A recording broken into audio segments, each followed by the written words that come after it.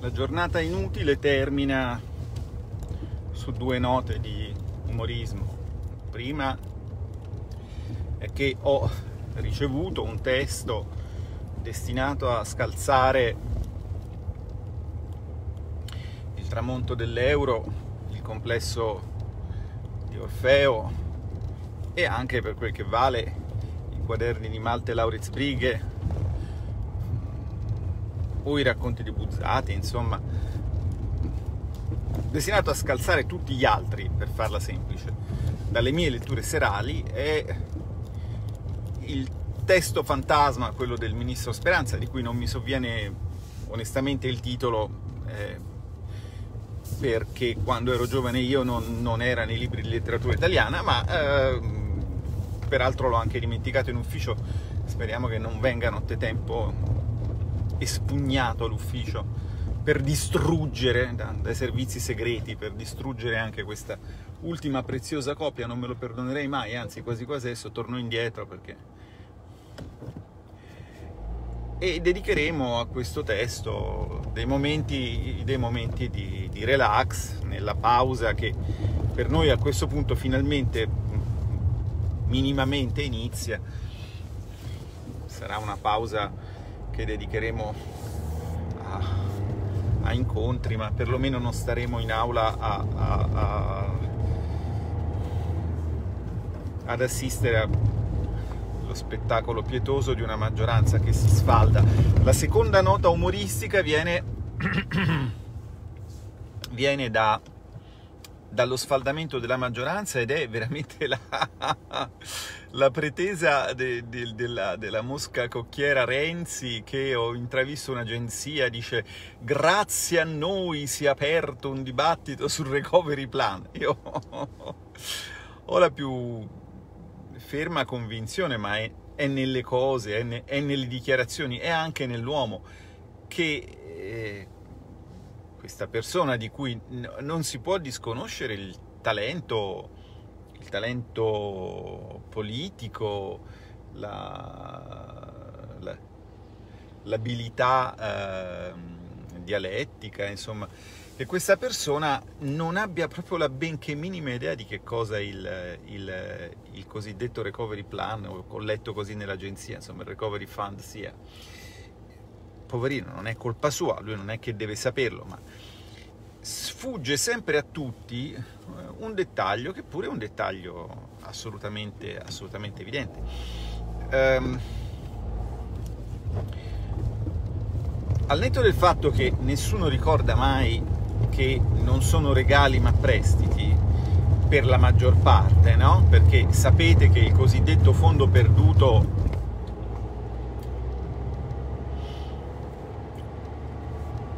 del Recovery Fund, diciamo in senso stretto, cioè della Recovery and Resilience Facility, è stimato a 65 miliardi, ma questa stima, attenzione, sapete che sarà soggetta a una revisione eh, alla fine del 2022, quindi insomma, eh, però diciamo che è dell'ordine dei 65 miliardi per il eh, recovery in senso stretto e diventa di un'ottantina di miliardi se si considera tutto un GEU, perché dentro entrerebbero degli altri cosiddetti fondi perduti, quelli del, del programma React EU, per un totale teorico di 80 miliardi di euro.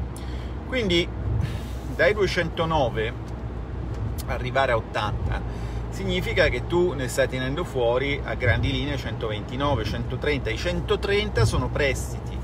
E qual è il punto dell'essere prestiti? È che quei 130 vanno iscritti nel debito pubblico.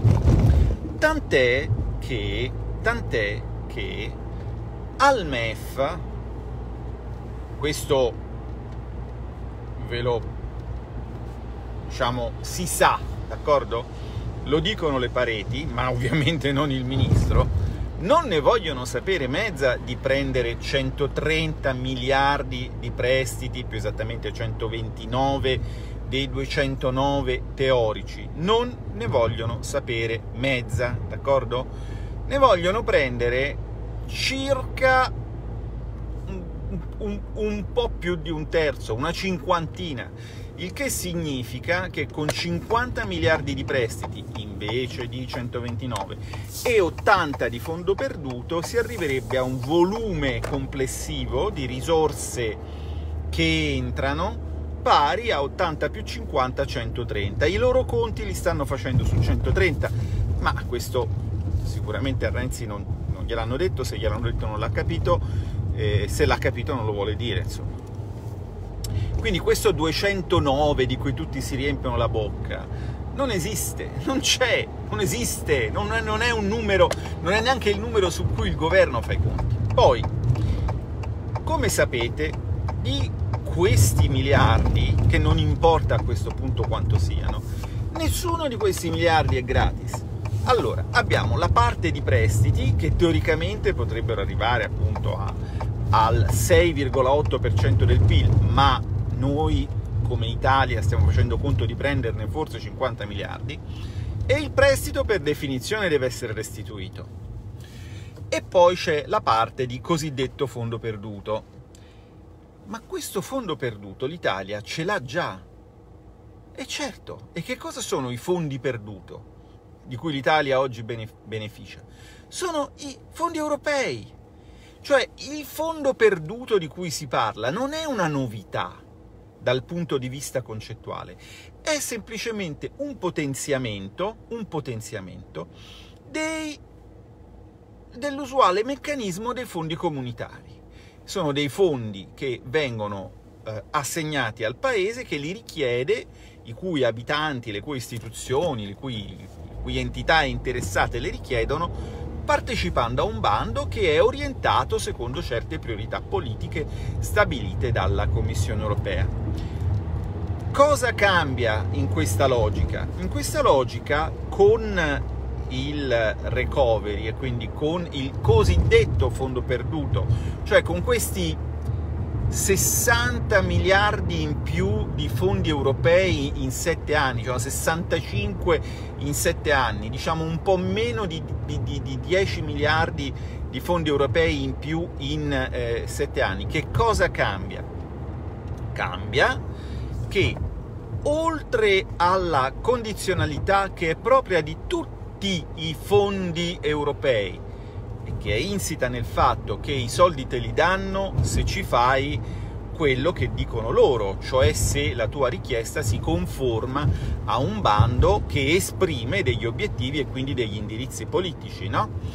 Oltre a questo c'è un secondo livello di controllo che è il fatto di essere iscritti nel semestre europeo, vale a dire che oltre al fatto di chiederli con un bando a valle, a monte devi, eh, come paese, fare una richiesta complessiva che è, entra in un determinato piano, che è il Piano Nazionale di Ripresa e Resilienza, che viene presentato insieme al Progetto Nazionale di Riforma, che è uno di quei documenti che fanno parte della ritualità del cosiddetto semestre europeo, che è quella eh, struttura, diciamo, concettuale di in teoria coordinamento, in pratica condizionamento delle politiche nazionali, introdotta al tempo del fiscal, compact con il six pack, il two pack e tutte quelle cose che qualcuno ricorderà. Una cosa che dal punto di vista del coordinamento non ha funzionato, tant'è che da quando esiste il divario è oggettivo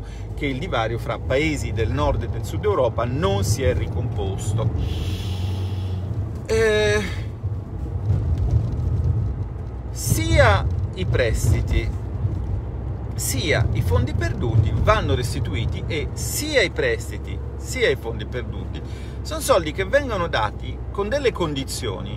Quando io parlo delle condizioni dei prestiti e mi dicono ah ma il tasso di interesse è conveniente, a parte che il tasso di interesse non si sa e non si potrà neanche sapere perché se succede per il recovery quello che sta succedendo per il short, cioè che il tasso di interesse è secretato, è ovvio che noi non sapremo mai se ci è convenuto o no aderire a questi prestiti.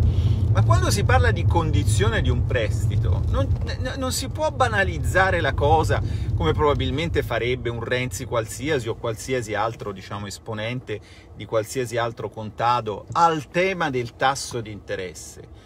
C'è un tema che è molto più profondo e che emerge in ogni singola tabella che vi fanno vedere in televisione ed è il tema che i soldi vengono dati all'Italia a condizione che l'Italia faccia quello che dice la Commissione europea. Quando il governo viene attaccato perché ha messo solo 9 miliardi sulla sanità, questo attacco in realtà è ingiusto perché dovete sapere che il governo pensa di lavorare su diciamo, un ammontare totale di risorse di circa appunto 130 miliardi d'accordo? Miliardo più un miliardo meno. Ora, voi se avete letto le varie carte che vi metto sul mio canale Telegram, se avete seguito, per esempio è utile in questo senso, lo trovate fra le ultime cose messe sul canale Telegram, il dossier, l'eccellente dossier che colleghi del contado non hanno letto, ehm, messo a punto dal, dal, nostro servizio studi che parla del quadro finanziario pluriennale, cioè del bilancio dell'Unione Europea, con questa sua componente aggiuntiva che è il Recovery Fund, che non è nient'altro che appunto un'estensione dei normali fondi europei. Se vi leggete questa roba, voi vedrete con grande semplicità che il 37% delle risorse del recovery deve essere destinato alla transizione ambientale e il 20% delle risorse del recovery deve essere destinato alla scusate, alla transizione digitale. Quindi siamo al 57% di risorse, arrotondiamo 60% di risorse a questo punto, che hanno una destinazione. Resta il 40% che si deve dividere fra altri quattro cosiddetti pilastri, d'accordo? Che se tu li dividi a stecca para, come dicono a Roma, 40 diviso 4 fa 10, che è parente di quei 9 miliardi che nelle ehm, eh, diapositive che illustrano la macro allocazione delle risorse da parte della, eh, della ehm, Piano Nazionale di Ripresa e Resilienza italiano, che per il momento esiste solo sotto forma di, bo- di linee guida e di bozze, quindi ancora siamo in una fase molto embrionale, ma insomma è parente di quella roba lì. Eh, il 10% di 130 naturalmente è 13, poi dopo però non è detto che debba essere steccapara per il restante 40%. Ma diciamo che gli ordini di grandezza sono quelli, no? Sono un, un ordine di grandezza, anche volendo equiripartire le risorse, si andrebbe vicini a un ordine di grandezza più o meno e, e non perché, eh, che ne so, perché Speranza non è autorevole, eh, perché Conte non vuole bene alla salute degli italiani, no, no, perché con quei soldi l'Europa gli chiede di fare altre cose. E perché loro, che sono il governo di uno dei paesi dove l'emergenza sanitaria si è più fatta sentire, non hanno avuto il coraggio o la capacità negoziale di portare l'Europa a eh, allocare questi fondi, per esempio sul tema sanitario, possibilmente svincolandolo, possibilmente svincolandolo dal discorso Covid perché se tu vai a dire che vuoi spendere 36 miliardi, 36 miliardi sull'emergenza Covid con un governo che sostanzialmente ha dimostrato grossi limiti nella sua capacità di spendita dei fondi effettivamente allocati e capisci bene che non, non, non, eh, vai automaticamente in infrazione del regolamento, per esempio, del MES sanitario. Ma, ma, appunto i fondi del recovery in teoria hanno almeno il vantaggio di non avere dei vincoli eh, specifici sull'emergenza Covid. Quindi ben venga questo, però questi fondi vanno restituiti. Cioè, che succede ogni anno? Che noi diamo 15 e ci ridanno 10. Che succederà quest'anno? La stessa cosa, solo che gli ordini di grandezza saranno leggermente più grandi, ma il netto alla fine saranno 5, eh, meno 5, meno, meno 2, meno 1, saremo sempre contribuenti netti. Quindi di che cosa stiamo parlando? Dov'è la grande opportunità? Io lo dico anche agli imprenditori, soprattutto agli imprenditori. Forse non avete capito che questo è un prestito e forse non avete capito che dovrete restituirlo voi. Cioè, se fra chi mi ascolta c'è qualcuno che paga le tasse per qualche motivo, perché ha un reddito o perché ha una casa che questo governo continua a considerare colpevolmente come un cespite da attaccare perché vogliono distruggere il nostro stile di vita, perché vogliono sradicarci, perché l'idea di focolare domestico, l'idea di famiglia sono eh, idee nemiche alla loro visione dell'uomo, che deve essere un uomo atomizzato, un uomo incapace di trovare un luogo di resistenza, di resistenza morale all'oppressione di, del, del, del progetto distopico che queste persone hanno in mente. Ecco, eh, se, eh, se mi ascolta qualcuno che paga le tasse, perché magari è, un, è, una partita IVA, perché è un imprenditore, ma anche perché è un dipendente, questo discorso riguarda voi e ci, e ci sono, diciamo, tanti partiti in Parlamento. La mag- quattro di essi, che sono i 5 Stelle, il PD, Italia Viva e l'EU pensano in questo momento solo a come spartirsi i soldi che stanno prendendo in prestito. D'accordo? Nessuno pensa a come voi dovrete ripagarli e li ripagherete con delle imposte e li ripagherete con delle imposte perché questi prestiti a differenza dei normali prestiti del debito pubblico, non saranno rinnovabili a scadenza e quindi questo significa che andranno ripagati dal 2026 al 2056. Io nel 2056 avrò eh, 94 anni, va bene? E finirò di ripagare felicemente per, per i miei figli e insieme ai miei figli che nel frattempo diciamo eh, avranno trovato auspicabilmente un lavoro insomma essendo arrivati alla soglia della eh, oltre la soglia della cinquantina ecco auspicabilmente. Tutti insieme ripagheremo il debito che questi cialtroni stanno eh, eh, stanno mh, mm, proponendosi di accumulare, tra l'altro voglio dire, senza un progetto specifico, cioè qui è proprio viziato il ragionamento, non è che il ragionamento che parte da ci sono 209 miliardi, sapendo che in realtà vogliono usarne 130, e ora che cosa ci facciamo presto è l'occasione della nostra vita, quando poi vai a vedere che al netto al paese resteranno briciole e che queste cose andranno restituite.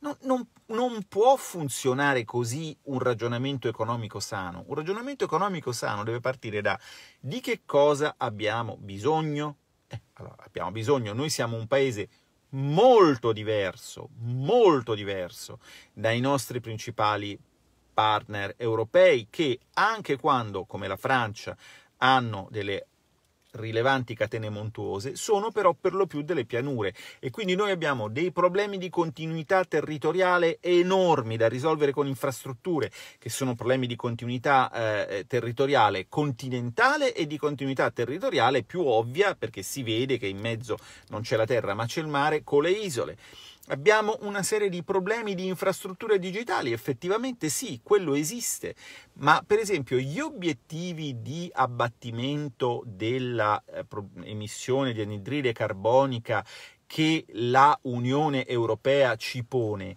sono eh, amici o nemici della nostra, della nostra eh, industria? A questo qualcuno fuori dalla Lega ci sta pensando? Vogliamo che ci pensino i simpatici decrescisti, quelli per cui tutto ciò che è verde è bello, tranne la Lega che nel frattempo infatti è diventata azzurra proprio per non costringere questi quattro mentecatti a valorizzare positivamente diciamo, la bandiera di un partito mh, da loro non più amato. Ecco. Ma io, cioè, veramente, mi, beh, anche, cioè, non lo so, me sembra tutto talmente... Boh,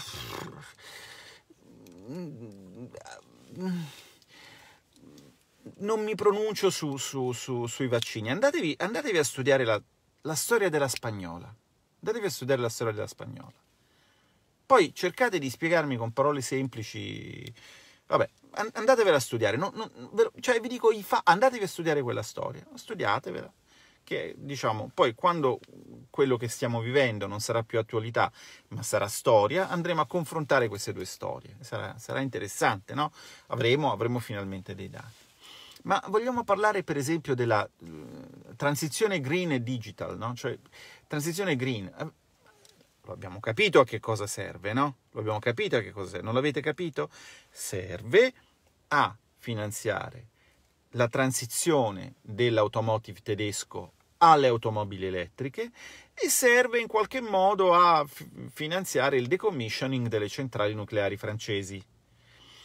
Se voi vi andate a vedere, e c'è sempre nel dossier del Senato che vi ho messo su Telegram, ma che potreste tranquillamente trovare con un po' di fatica sul sito del Senato, non perché sia fatto male, ma perché c'è tantissima roba, mentre sul mio Telegram, se lo scorrete linearmente, lo trovate abbastanza facilmente. Il dossier sul quadro finanziario pluriennale c'è una bellissima cartina geografica, c'è una bellissima cartina geografica che fa vedere che cosa succederà. Per esempio, all'interno del Next Generation EU di NGEU c'è il Just Transition Fund. Che cos'è? Il fondo per una transizione giusta. La transizione qual è? E la transizione verde e questo non è compreso nel pacchetto dell'RRF, della Recovery and Resilience Facility, cioè di quello che nel contato chiamano il Recovery Plan, perché era un pezzo ereditato dal Green New Deal, vi ricordate, no? quella minchiata lì, d'accordo, con cui la von der Leyen, prima che scoppiasse la pandemia, si gloriava di essere la Franklin Delana Roosevelt di, di, di, di questa, mh, vabbè, di questa Europa, diciamo. Va bene, ho detto Europa, mm, potete sostituirla con parole equivalenti. Ehm, allora c'è anche una bellissima cartina, perché sapete la cosiddetta decarbonizzazione, che non significa togliere il carbonio, perché diciamo, mm, vi do una notizia, c'è del carbonio anche dentro di voi, insomma, quando ero giovane io si studiava al classico la chimica organica e prima si studiava anche quella inorganica, quindi mi sembra di ricordare che diciamo, dentro di noi ci sia abbastanza carbonio, se lo togliessero credo che avremmo tutti dei problemi. È la lotta all'anidride carbonica, la, alle emissioni di anidride carbonica. Allora, se voi vi andate a vedere quella cartina dell'Europa che mette in rosso le zone che riceveranno, diciamo dove ci sono le zone che soffriranno di più per le strategie di decarbonizzazione, che quindi ovviamente riceveranno più soldi, più soldi dalla Just Transition e anche dagli altri obiettivi green, mi sembra di poter supporre, che l'Europa si pone. Voi vedete una cartina dell'Europa bianca, con una chiazza rossa corrispondente alla Germania, che quindi si succhierà tutti quei fondi. In Italia c'è uno spottino che corrisponde alla provincia di Taranto, dove posso immaginare qual è il problema che giustamente l'Europa riconosce e per, per, risolvere il quale, cioè quello dell'Ilva, e per risolvere il quale ci darà due spicci, perché tutti i soldi se li prenderanno the others. Cioè, le cose le dicono, le cose le dicono, perché non è, diciamo, esattamente una truffa l'Unione Europea. Le cose sono messe nere su, nero su bianco. Perché i colleghi di altri partiti non leggono quello che arriva dall'Europa o perché non lo rileggono nei dossier che il nostro servizio studi con tanta dedizione pubblica un po' eh, avrete capito, ne ho parlato tante volte, vi ho fatto vedere sia i ritmi che i contenuti della vita parlamentare. È una vita tremenda nella quale chi non si dà, come ci siamo dati noi nella Lega, con i dipartimenti, una organizzazione tale per cui ogni parlamentare si prende un dossier, lo segue e poi fa una sintesi per gli altri, ma i gruppi un po' più disorganizzati o semplicemente meno numerosi, perché qui il numero effettivamente fa una forza, cioè, in un gruppo non, non organizzato o non numeroso, un, un, un, collega che magari sta in due commissioni dovrebbe digerire una quantità di carta dell'ordine di parecchie decine di chili a settimana. È del tutto evidente che non può farcela. Però, però, però, quando si va in giro a blaterare di recovery plan e di noi vi abbiamo spiegato il recovery plan, andatevelo a leggere, Dio santo, il dossier che ha fatto il Senato. Perché vedete, qui eh, mi rendo conto che dal punto di vista delle tecniche di comunicazione, no? È del tutto evidente che sia eh, in teoria auspicabile presentarsi con messaggi positivi. Se parte il frame della, della pioggia di miliardi e tu dici che quei miliardi tecnicamente non ci sono in diversi sensi, ma soprattutto nel senso principale che è quello che sono un prestito. Te li danno e devi restituirli, quindi è importantissimo partire da cosa farci, d'accordo? Da cosa farci e soprattutto da come altrimenti potresti trovarli questi soldi, perché magari salta fuori che potresti trovarli a condizioni meno pericolose per il paese, a partire dal fatto che potresti trovarli eh, per farci quello che vuoi tu e non per farci quello che vogliono loro, d'accordo? Ecco, quando si parla eh, di questi fondi che appunto se voi girate per strada, fate questo esperimento di psicologia sociale. Io sono convinto che con il martellamento che subiscono dai media, molti nostri concittadini sono convinti che l'anno prossimo arriveranno 209 miliardi, ma si sono fatti convincere da quell'imbonitore da fiera paesana che abbiamo come Presidente del Consiglio che lui avrebbe messo 400 miliardi sul tavolo dell'economia italiana, quando invece ha semplicemente prestato, senza coprirle in legge di bilancio, delle garanzie su 400 miliardi che le banche avrebbero dovuto erogare ma non hanno erogato perché di fatto abbiamo avuto un, un, un, erogato di circa 100 miliardi, di cui più della metà è andato a coprire prestiti già esistenti e quindi le banche hanno fatto un'operazione di sostituzione di prestiti diciamo meno garantiti con prestiti interamente assistiti da garanzia statale cioè prestiti, tanto per essere chiari, che anche quelli rimborserete voi se le aziende falliscono. E per esempio Massimo Garavaglia, il gruppo della Lega alla bilancio Camera, ha fatto un'operazione fondamentale che questi non volevano fare per evitare che questi soldi ce li metteste voi, cioè che foste voi a ripagare con le vostre tasse il debito che lo Stato farebbe per, accum- per, ri- per rifondere le banche, no? Perché la banca fa un prestito se l'azienda fallisce, lo Stato ci deve mettere la garanzia e lo Stato i soldi da chi li prende, visto che è privo di sovranità monetaria? Li prende da voi, d'accordo? Bene, allora perlomeno in bilancio Camera sono riusciti a, a, a, stabilire che la restituzione dei prestiti garantiti è estesa da 6 a 15 anni. Capirai che con una rateizzazione più lunga c'è il caso che più prestiti vengano restituiti, quindi meno garanzie vengano escusse e quindi voi paghiate meno tasse. Ma lo hanno fatto loro? No, gliel'abbiamo chiesto noi e non volevano farlo. Perché? Perché l'Europa era contraria. Cioè, sempre lì si va a parare, sempre lì allora, torno dagli amici imprenditori. Scusate, eh.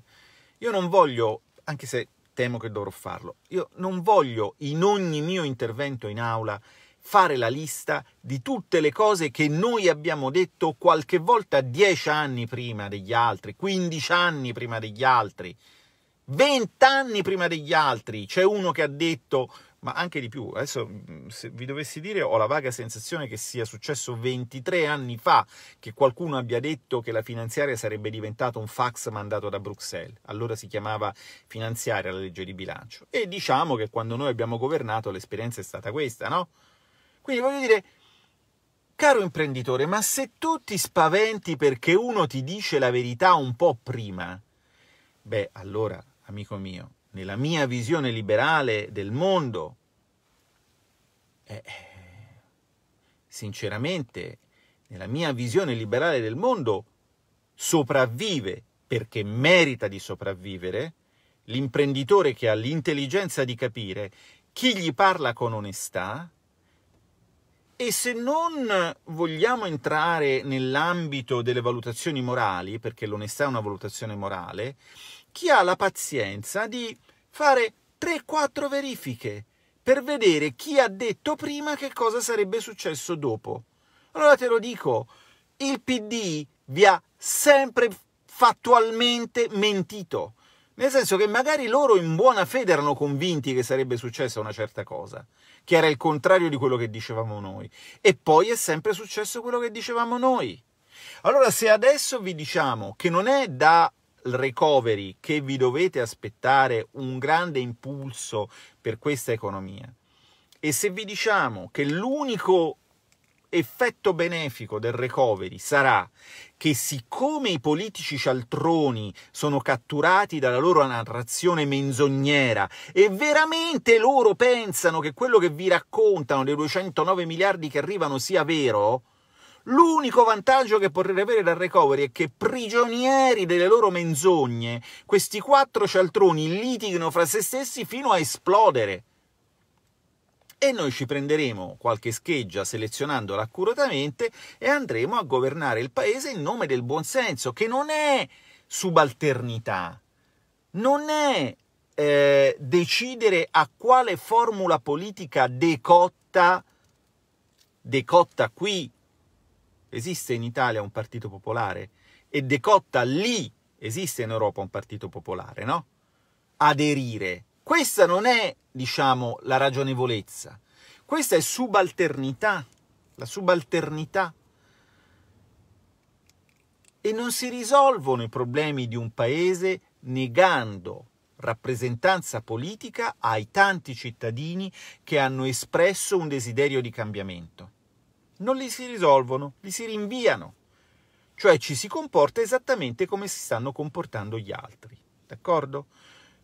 Noi siamo pronti a prendere il testimone e questo lo abbiamo dimostrato anche nel modo in cui siamo riusciti a gestire ristori e legge di bilancio mettendoci dentro delle cose che avevano un senso. Adesso diciamo così,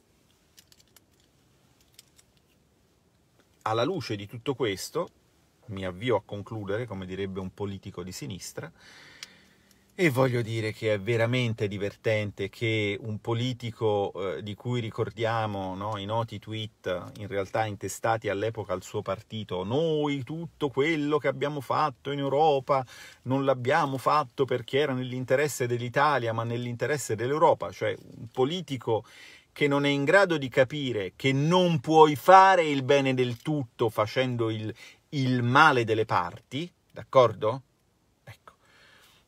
Politico che non è in grado di capire questo, cosa volete pensare, povera anima santa e innocente, che possa capire delle tabelle noiose, del, del linguaggio fastidiosissimo, scatena sempre un'allergia, dei documenti lunghissimi che vengono da, da, uh, da Bruxelles. Lui non solo non se li studia, e devo dire che in quanto leader politico non è in fondo compito suo studiarseli, ma eh, perché un leader politico deve fare altre cose. Un leader politico deve dare una visione, deve confrontarsi con gli altri leader, deve dare un senso alla struttura. Ma il, il, il poverino che ha fatto l'operazione di palazzo, come risultato di questa operazione di palazzo, ha dei bravi colleghi che gli sono andati dietro, ma ma appunto non solo le cose non se le legge lui, che in quanto leader ne può, può anche farne a meno, ma non c'è neanche chi le legge per lui. E questo è il problema, capite?